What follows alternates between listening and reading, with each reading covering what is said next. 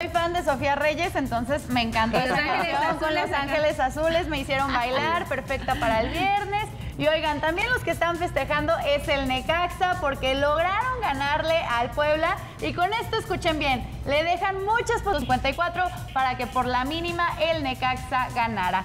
Y mañana se llevará un partido bastante vibrante entre las Chivas y los Pumas que se miden en un duelo vital en sus aspiraciones por un lugar en el repechaje. Miguel, El Guacho Jiménez habló sobre Ricardo Cadena, el técnico nuevo del rebaño que liga ya dos victorias consecutivas.